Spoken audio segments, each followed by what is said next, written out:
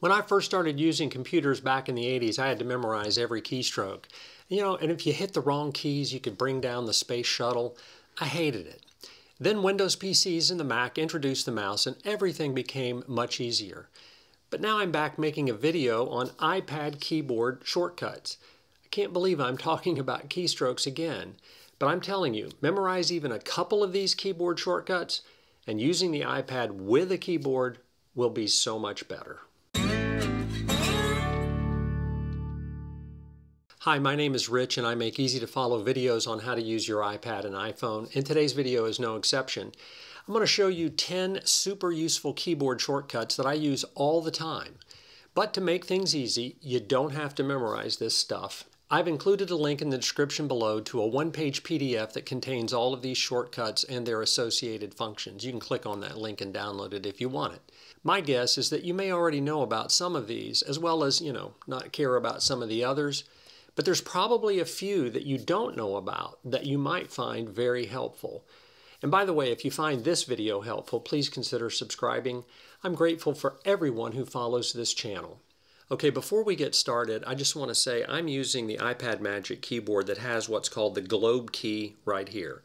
If you have just a regular Apple keyboard like this, the function key right here serves as the globe key. So I only have the globe key on my Magic keyboard, but I use this keyboard a lot with my iPad, and so I just use the function key, so the two are interchangeable. So if you're using a keyboard like this, you'll be good to go. Okay, the first keyboard shortcut I want to show you is just how to bring up Spotlight Search. It's a way to search for anything on your iPad. You can just tap Command Space, and there you go. And then if you type in Safari, you can click the return and it opens Safari. If you bring it up again, you can just type in, say, calendar and click return and it'll open your calendar just like that. Just remember, command space will bring up Spotlight Search no matter where you are. Super handy. Okay, the next key command is probably my favorite. It's to bring up a quick note. And all you do is you tap Globe Q, and it's easy to remember because Q is for quick note, and you can just type another quick note just like that. Well, you won't spell it that way. Like that, quick done, and now you're done. And again, if you want to just bring up another quick note, globe Q, and you've got another quick note, just like that. Click done. Super handy. And by the way, I don't know if you're like me, but I use those quick notes like sticky notes. So I just bring it up, type something in real quick, and then it goes over into Apple Notes. And then I go back in there and figure out whether I want to keep it or delete it. Okay, the next thing I want to show you is just how to get back to your home screen very quickly. Let's say you're in an app like Photos, like this. To get back to home screen, it's just Globe and H, just like that. No matter where you are, you can be in music, you can hit Globe H, and you're back to your home screen and you can have a whole bunch of different apps open. But again, Globe H is for home screen and it's easy to remember because it's H.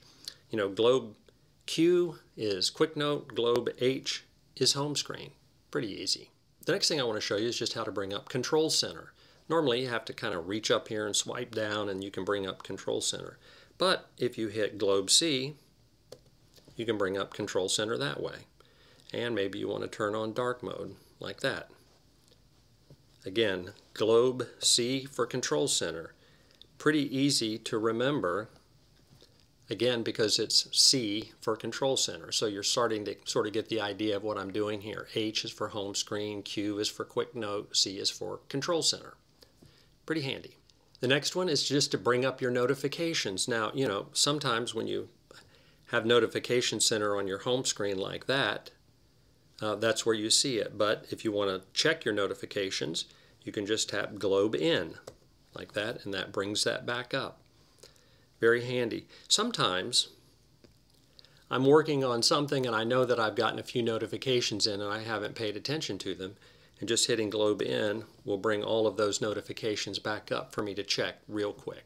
Super handy. The next thing I want to show you is a command to how to bring up the dock. So let's say you're in the Photos app like this. If you notice the dock is not here at the bottom, but if you hit Globe A, you can bring up the dock. Now, and if you hit globe A again, it takes the dock away.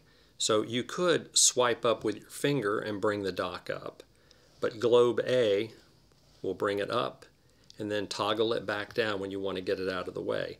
And this is handy when you're wanting to open um, up apps in split screen. So maybe you want the calendar up beside you like that and bringing up globe A will allow you to do that. The next one is kind of related to the last key command. You had globe A to bring up the dock. But if you tap globe shift A, it'll bring up the app library like that so you can find any app that you want that's on your iPad. Okay, let's say you're in an app like this, like Photos. You can hit Globe Shift A and bring up the app library, and you can hit Globe Shift A and hide the app library. Pretty handy. The next key command allows you to just sort of navigate through all of your apps that you have open. So right now I have the Photos app open, but again if I tap globe and arrow I can just go through the various apps that I have, just like this. And you can go through them one by one. You can scroll, just like that, or you can globe and go back the other way using the other arrow. So you've got the left and right arrows that you can use to get to different things, just like that. Pretty handy. You may have an app up like this and you want to do split screen. Well, there is the ability to swipe up and to take an app here and drag it over. You can do that. Or you can hit globe control and left arrow and it takes it over to the side and you can just open the app like that and it's immediately opened in split screen and you didn't have to do all of that fiddling around to get it up that way. Again, you're in this, you hit globe control left arrow, takes it over. You can choose an app and now you're in split view, just like that. So quick and easy. And once you get the hang of this, you'll be doing that all the time. Okay, the last thing I want to show you is just how to zoom in and out. And this works in a whole variety of different apps. I'm going to open up Photos. And if you hit Command plus, it makes the photos bigger. If you hit Command minus, it makes the photos smaller. So it's just a way to be able to better see. I can't see anything that way, so I have to kind of blow stuff up like that, and then I can find it. And this doesn't just work in Photos, it works in other apps too. Let's go into Safari, a website, and you can hit Command Command plus here and make it bigger, Command minus and make it smaller, just like that. So in different applications, you can use that zoom in and zoom out function. Really, really handy. So there you have it, a handful of useful keyboard shortcuts that'll make using your iPad so much better. Be sure to check out the link in the description below for a list of all of these shortcuts. Believe me, you'll have these built into your muscle memory in no time. Okay, that's a wrap for today. I hope you found this short tutorial helpful. Thanks so much for watching, and I'll see you in the next video.